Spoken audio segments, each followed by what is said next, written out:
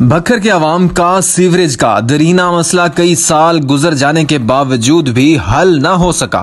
Sewerage کا گندا پانی پل، شیخ، رو اور گلیوں میں پھیل گیا۔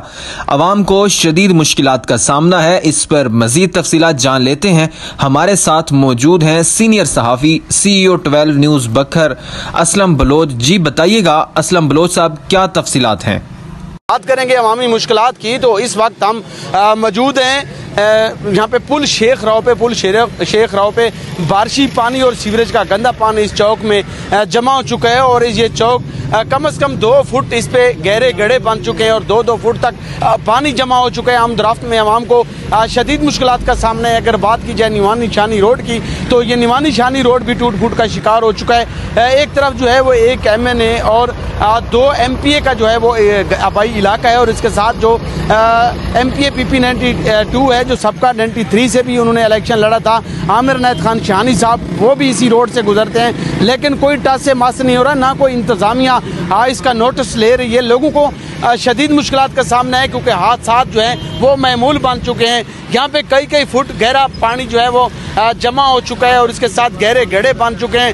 لوگ سبھی پریشان ہیں، گزرنے والے عوام، خواتین بچے سبھی کو مشکلات کا سامنا ہے۔ میرے ساتھ شہری موجود ہیں اس وقت ان سے بات کر لیتے ہیں کہ وہ اس بارے کیا کہتے ہیں، کیا کہیں گے جی کن مشکلات کا سامنا ہے، کتنے عرصے سے پانی کھڑا ہے؟ پانی یہاں تقریباً کھڑا ہے، دو سے تین سال ہو گئے پانی کھڑا ہے۔ اور تھوڑی سی بارش آ جائے تو اس ایسے سمجھے دریا بن گیا یہاں پہ۔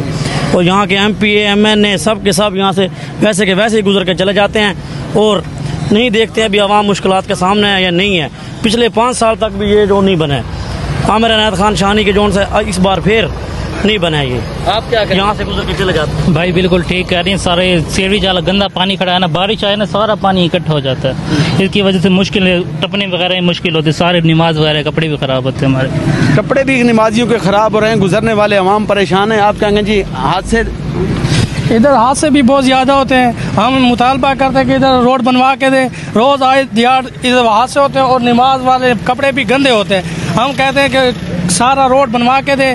Sardar Rashid Akbar Khan, M N A اور ایم پی اے، سردار امن انت خان کو شانی کو بھی یہی کہتے ہیں کہ روز آئے دیار ادھر سے گزرتے ہیں مگر ادھر سے کوئی ٹس سے ماس نہیں کرتا، ہم گزارش کرتے ہیں کہ یہ روڈ ہمیں بنوا کے دیں مہربانی کریں۔ روز ہماری آئی دیہات گاڑیاں خراب بھی ہو رہی ہیں نواز کے کپڑے بھی خراب ہو رہے ہیں۔ نمازیوں کے کپڑے جو ہیں وہ خراب ہو رہے ہیں۔ لوگوں کو شدید مشکلات کا سامنا ہے۔ وہی موٹر سائیکل، گاڑیاں، ٹریکٹر رکھے، سبھی ہی وہ بھی خراب ہو رہے ہیں۔ مشینری کا بھی خاصا نقصان ہو رہا ہے۔ عوام کا جانی مالی نقصان ہو رہا ہے۔ کوئی اس کا نوٹس نہیں لے رہا۔ یہاں کے شہریوں نے یہ مطالبہ کیا ہے کہ اس کا نوٹس لیا جائے۔ منتخب عوامی نمائندگان M N A M P A اور deputy commissioner Bhakkar Ali Akbar Bhinder commissioner Sargodha Muhammad Ajmal Bhatti صاحب اور چیف سیکرٹری پنجاب اور اس کے علاوہ سی ایم پنجاب سے بھی یہ مطالبہ کیا جا رہا ہے کہ فوری طور پر روڈ کی حالت کو بہتر بنایا جائے، دوبارہ اس چوک کو تعمیر کروایا جائے، خوبصورت بنایا جائے، نکاسی آپ کا انتظام کیا جائے نیوانی جانی روڈ دوبارہ تعمیر کرایا جائے تاکہ شہری جو ہیں وہ سکھ سانس لے سکیں، ان کی جو مشکلات ہیں ان کو کم کیا جا سکے۔ نئے پروگرام کے ساتھ